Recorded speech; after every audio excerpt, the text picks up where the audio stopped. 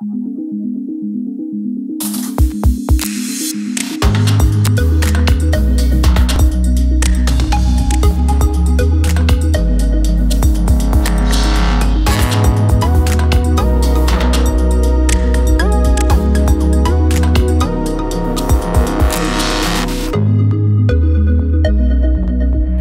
We wanted to utilize the latest technology.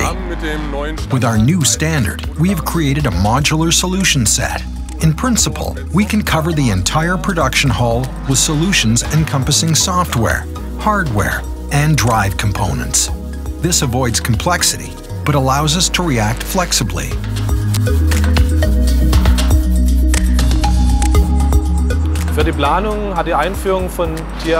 In the engineering, the introduction of TIA Portal has brought certain advantages.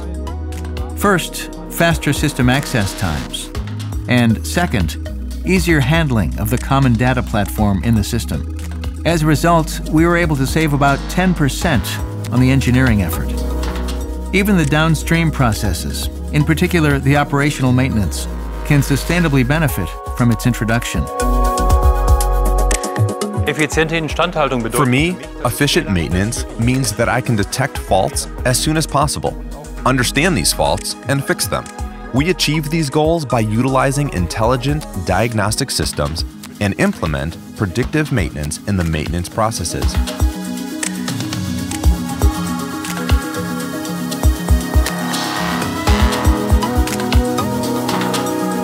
Through the improved information flow and intuitive operation, we can detect faults early, directly in the line. I see further optimization potential through smart energy controls using PROFIenergy. We are able to reduce energy consumption significantly with the energy-efficient gear motors and energy recovery inverters in the lift stations and on the EHB. We are hoping to achieve the group's objective of 25% energy reduction.